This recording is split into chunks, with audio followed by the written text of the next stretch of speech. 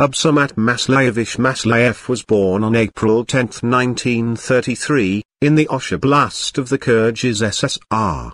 He served as the first secretary of the Central Committee of the Communist Party of Kirghizia from November 1985, until Kyrgyz independence, and led the Party of Communists of Kyrgyzstan afterwards.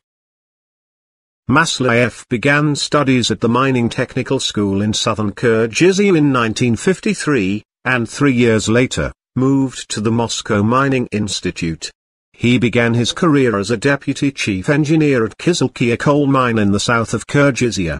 In 1961 he became an instructor at the regional branch of the Communist Party of Kirghizia in the Osh Oblast.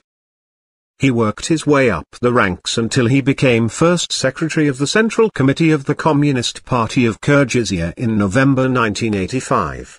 From April 10 to December 10, 1990, he served as chairman of the Supreme Soviet of the Kyrgyz Soviet Socialist Republic. Apas Jumagulov, and Absamat Masaliyev were the two original candidates for the Kyrgyz presidency on October 25, 1990 but neither could get the majority of the votes, so the Supreme Soviet chose Askar Akayev to be the first president on the 27th of October 1990.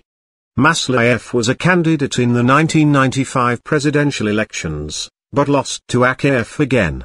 He held a seat in the Assembly of People's Representatives of the Supreme Council from 1995 until his death from a heart attack on July 31, 2004.